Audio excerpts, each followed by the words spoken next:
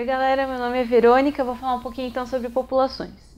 Então, em última instância, as populações são formadas por seres vivos, que estão dentro dos cinco reinos que a gente estuda. Esses seres vivos, eles formam espécies. O que a gente precisa saber de espécie? É um conjunto de indivíduos que é capaz de se reproduzir e gerar descendentes férteis. Então, é essencial que eles consigam fazer essas duas coisas, senão a gente não tem uma espécie. É, um conjunto de espécies define uma população. Como que essas espécies vão definir a, a, uma população? Estando num, em um mesmo local, tá?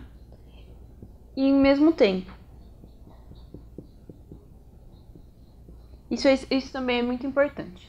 Então, vamos falar da população. É, a população ela tem características e ela tem a densidade. São do, dois elementos muito importantes que a gente precisa saber sobre elas. O que a gente entende por características? Distribuição espacial, é, diferença de idade e tamanho entre os indivíduos e espécies e proporção, proporção entre os sexos. São três coisas básicas, mas é bacana lembrar. Agora, o mais importante é a questão da densidade. Como a densidade faz diferença na população, como ela car caracteriza a população? É, a densidade ela é medida por taxas, tá?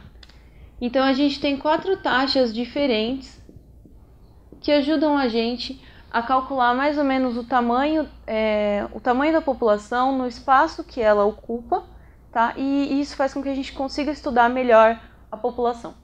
Então, a gente tem taxa de natalidade e imigração. Então, natalidade, obviamente, os indivíduos que nascem. Imigração, indivíduos que saem de outros locais e vêm para o local que a gente está estudando. Essas duas taxas juntas, elas aumentam a densidade da população, certo? A gente tem mais indivíduos na mesma área. Por outro lado, a gente tem as taxas de mortalidade e emigração. Ó, bacana lembrar a diferença aqui entre o I e o E para não fazer confusão depois, tá? Essas duas taxas, então, mortalidade, obviamente, morte, tá? É, e emigração é saída. Então, são os indivíduos que saem do, lugar, do local onde eles se encontram e vão para outro. Essa saída é a emigração.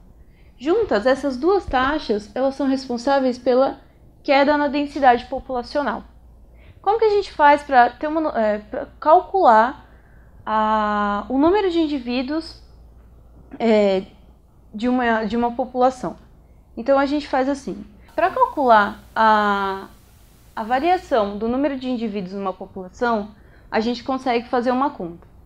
Essa conta ela envolve é, a subtração de parâmetros iguais, é, semelhantes, então natalidade e mortalidade, e imigração e emigração tá? E ela é dividida então pela área que esses indivíduos vão ocupar. Então vamos supor, a gente tem um número inicial de 100 indivíduos, tá? E a gente quer descobrir o número, to é, o número total depois de um determinado período de estudo. Então 100 mais eu vou somar o quê? A subtração de natalidade e mortalidade, então eu tiro da natalidade a mortalidade, tá? Mais a imigração menos a imigração, que são as diferenças do que entrou e saiu, do que morreu e nasceu. Isso aqui dá um número de indivíduos, só que a gente precisa pensar na área. Se você está estudando formigas, você não vai colocar uma formiga por quilômetro quadrado, você vai colocar em centímetro cúbico, que é o mais adequado. Então, de acordo com o tamanho do seu animal, você usa uma área adequada. Então, pode ser metro, centímetro, quilômetro. Esses aqui, se você estiver estudando alguma coisa aquática é, ou no ar, aí você usa volume, certo? Bom, então a ideia é essa, eu espero que vocês tenham entendido. Até a próxima!